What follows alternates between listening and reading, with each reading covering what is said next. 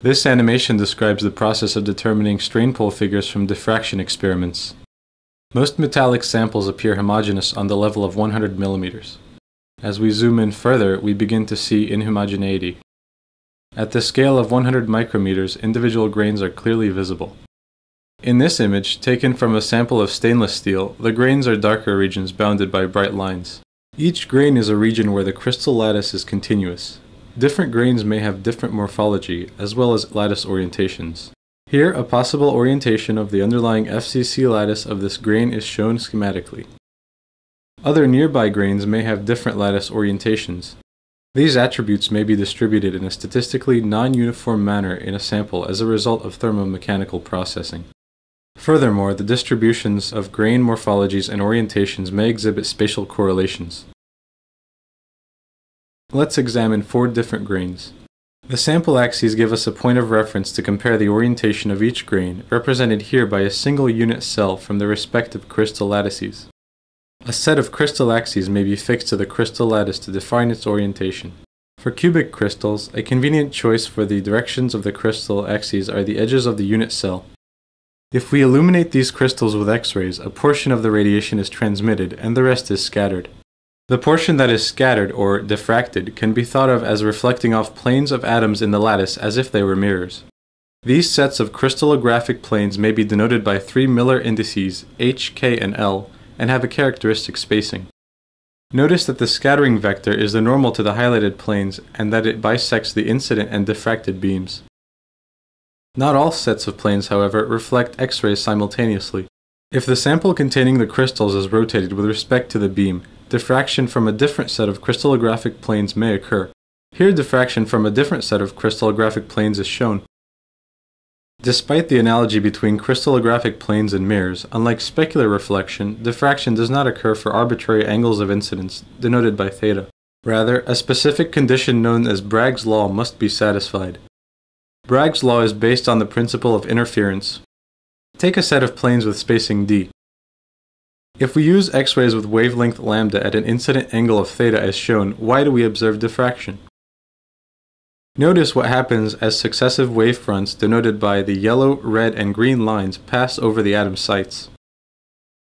Each atom radiates isotropically, giving off spherical wavefronts with wavelength lambda like ripples in a pool. Notice, however, that these scattered waves only overlap in two very special directions, along the transmitted and reflected beams. If we were to change d, lambda, or theta independently, the scattered waves would be out of phase and diffraction would not occur. Here is the relation shown explicitly. If we design an experiment where we fix lambda and are able to rock the sample over some finite angular range, we are sensitive to normal strains along the scattering vector due to elastic strains in the lattice.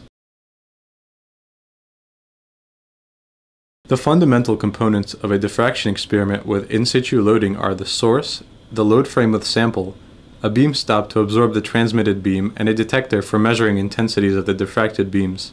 Both the load frame and the detector are mounted on high precision positioning devices or goniometers. The intersection of the beam and sample defines the center of rotations for each. A point-like detector is shown in the current configuration. It measures intensities over a small angular range. As such, a point detector collects data along a single scattering vector. When a monochromatic beam hits the sample, it is diffracted among discrete directions governed by Bragg's law.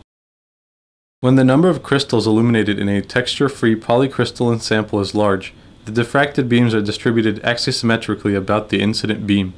This scenario is referred to as powder diffraction, and the resulting cones of radiation are referred to as Debye-Scherrer cones. Preferred orientation among the grains in the diffraction volume is manifest as a non-uniform distribution of intensity along the azimuth of the Debye-Scherrer cones. Simply put, where there are more crystals diffracting simultaneously, the signal is more intense. Here the scattering vector q for a particular Bragg reflection is shown. Recall that q is both the bisector of the incident and diffracted beams, as well as the normal to the associated crystallographic planes. In this case, it is aligned with the loading direction of the sample. In the case of powder diffraction, a cone of scattering vectors is associated with each Debye-Scherrer cone. If we were to collect data for this specific Bragg reflection, we would be measuring an ensemble average of the subset of crystals that satisfy the Bragg condition in this particular sample orientation. To perform a measurement, the detector is swept through 2 theta until it measures a diffracted beam. Recall that the Bragg angle, theta, is determined by the associated plane spacing and the beam wavelength. To collect data for a different set of crystallographic planes aligned with the same sample direction, both the load frame and the detector must be rotated. Specifically, the load frame must be rotated by half the angle that the detector is rotated. Note that a different subset of crystals is now being interrogated. As the sample is loaded, the macroscopic strain is partitioned among the grains in a complex, non-uniform manner. The resulting changes of interplanar spacings in the crystals are manifest as slight shifts in the corresponding Bragg angles.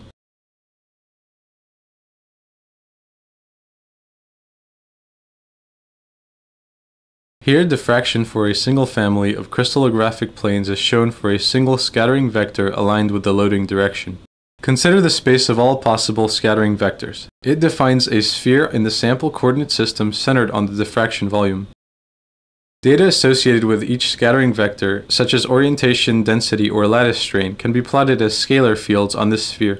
Such a plot is referred to as a pole figure, since normal diffraction cannot distinguish between positive and negative plane normals. Data can only be associated with an unsigned plane normal or pole.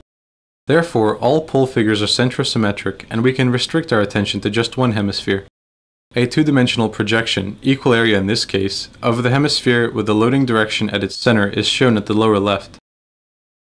A red dot indicates that a measurement has been made and recorded at the corresponding location on the pole figure. To fill in the pole figure for this set of crystallographic planes, we must collect data for different scattering vectors. This is done by rotating the load frame and sample while keeping the detector fixed. Note that each time we examine a new scattering vector, we are measuring the average signals from the subset of crystals that satisfy the Bragg condition in the new sample orientation. For the pole figure to be statistically relevant, these subsets must be sufficiently large, particularly if we are after lattice strains. Measuring pole figures with point detectors is rather costly in terms of time spent. One advantage of employing X-rays as the source is the availability of large two-dimensional detectors such as image plates or CCD arrays. With such a detector, complete Debye-Scherrer cones can be collected simultaneously, expediting the measurement of pole figures. In this schematic, the hemisphere of interest has the beam direction at its center. In terms of pole figure coverage, we shall be able to measure a continuous strip of scattering vectors simultaneously. With the beam normal to the specimen surface, the specimen loading in transverse directions are at points at the top and side of the pole figure. The intersection of the cone of scattering vectors with the highlighted Debye-Scherrer cone is a circle on the pole figure. As before, additional data can be added to the pole figure by rotation of the loading frame and sample. After an exposure with a beam normal to the specimen surface, the load is held constant and the loading frame is rotated about the loading axis. Additional exposures are taken at prescribed orientations. In this manner, data are added to the pole figure ring by ring. Rotation about the specimen transverse direction with associated diffraction exposures produce rings of data oriented orthogonally to the previous example. The area detector reduces the number of sample orientations needed to fill the pole figure. Here is lattice strain data measured from the tensile loading direction of an iron copper alloy, measured along the sample y-axis at Cornell's high-energy synchrotron source. Data from the 200 family of planes in the copper phase are shown. The coverage pattern of the lattice strain pole figure was obtained using five positions of the load frame as shown previously. As the applied stress is increased, the lattice strains in crystals having their 200 directions closely aligned with the loading or y-axis grow increasingly positive. Those crystals having their 200 directions closely aligned with the transverse or z direction grow increasingly negative. These Poisson-like trends are what we might expect considering the uniaxial stress state on the diffraction volume. By combining measurements along many different scattering vectors among multiple pole figures, we obtain a detailed picture of how the macroscopic strain is partitioned among the grains during deformation. Overall, diffraction experiments performed under in situ loading provide researchers with a highly effective tool for assessing the micromechanical state of a polycrystalline sample, as well as its evolution with deformation. As the technology for sources and detectors advances, the methods presented here may be adapted to provide an ever improving understanding of material behavior.